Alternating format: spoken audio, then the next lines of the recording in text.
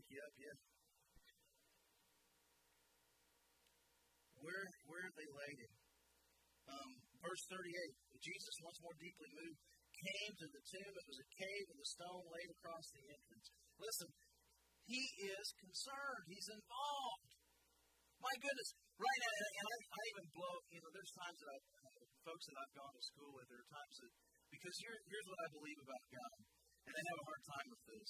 It, you know, because the Bible says in Genesis, in the beginning, God created the heavens and the earth. And, and I think sometimes people forget that God is still a creator. He is still a creator. He is still creating. The universe as we know it continues to expand and grow. There is new creation out there. There, there are new formations being made. He is the one that's behind all of that. He is concerned. He is involved. He is intimately and passionately involved with His creation, and that includes you. And, and more than, than anything else, He's involved with you. Jesus says in verse 25, I'm the resurrection and the life. How can He make that claim? How can Jesus make the claim that He's the resurrection? Any ideas?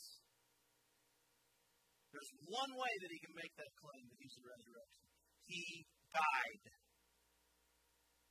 He died. And he died because of you. He died because of me. The only way that he can say that he is the resurrection, and later he says that he's the firstborn of the resurrection the only way that he can make that claim is because he died. The one who was sinless, the one who was perfect, died for us. Does that sound like a God who is not concerned and involved with his creation? No. Jesus is the God of comfort when we understand that he really is concerned for us. And not in the way. Not in the way that televangelists is going to tell you. Quite frankly, he doesn't care if you drive a BMW, even if you want a BMW. He doesn't care what house you live in. He cares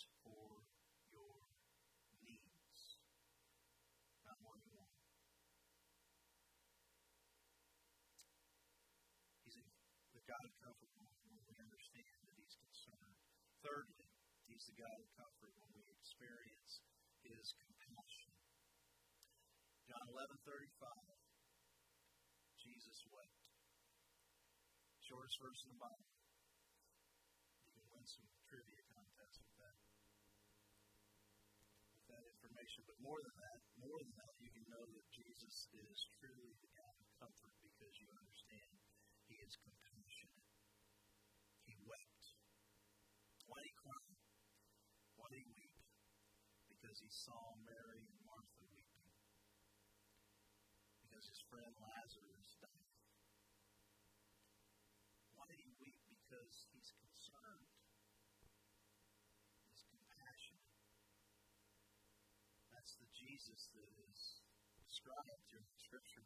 Rick preached about that last week. The Good Shepherd lays down his life for his sheep.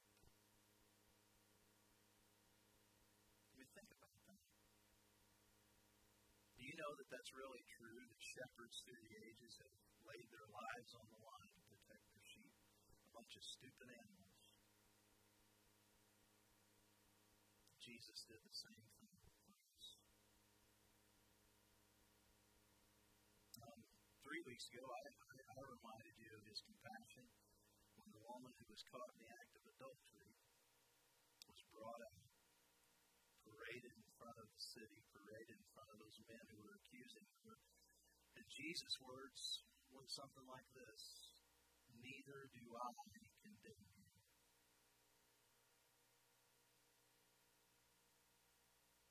And then, of course,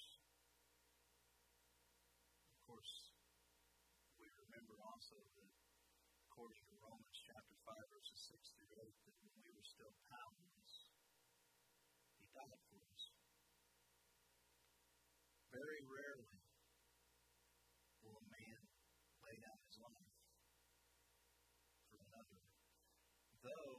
Sometimes a good man, according to Paul, will do that. But Jesus, while we were still enemies, died for us. That's how much he loves us. That's his compassion. Jesus is the God of comfort when we realize that he's in control. Jesus is the God of comfort when we understand that he's concerned. Jesus is the God of comfort when we experience his compassion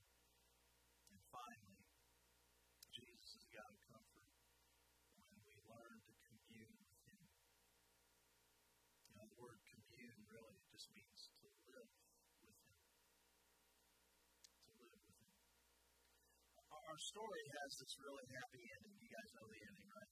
I mean, we just kind of read through it, but I'll remind you. He raises Lazarus from the dead. I mean, I bet there was a party that happened after that. You know, party back at Lazarus' house. Chapter 12, chapter 12, verses 1 through 3. Um, and, and we're concluding with this. This is the fourth heading, but it's also kind of a conclusion. It, it says that six days before the Passover, this is the Passover where Jesus is going to be crucified. He's going to be delivered to his enemies. Um, six days before the Passover, Jesus arrived at Bethany where Lazarus lived, whom Jesus had raised from the dead. Here, a dinner was given in Jesus' honor. I imagine that, you know, there was that kind of thing that, um, Lord, thanks for raising Lazarus up. Well, can you come over for dinner? You know, one of those things. We really want to thank you for this, so let us, you know, make some chicken, beef. You know, it wouldn't be pork, but chicken or beef.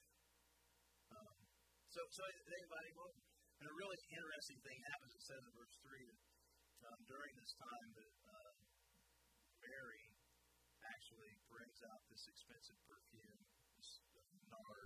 called, and she anoints Jesus with it. Most uh, scholars would tell you that that's because, you know, not that she knows this information, but God, again, using circumstances, that what God is doing is preparing Jesus for his burial.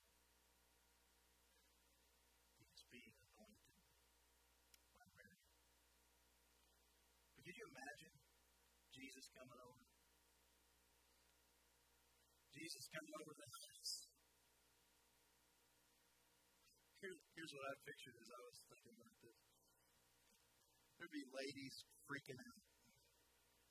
Gotta clean house. Jesus is coming.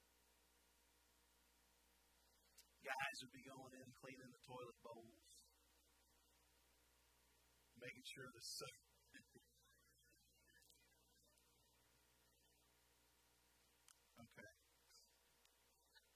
We'd be picking stuff up, making sure stuff is put out of the way. Put the Bible out on the coffee table. Got your book.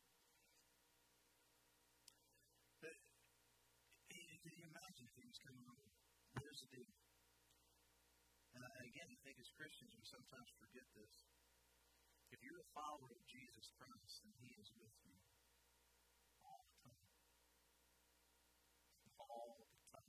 Doris Wilson, we were visiting her this past week. And she said that she was up at Lipston, the hospital, getting ready for this knee replacement. And I don't know, was it a nurse? Was it a nurse or another patient? Another patient. That makes the story even better.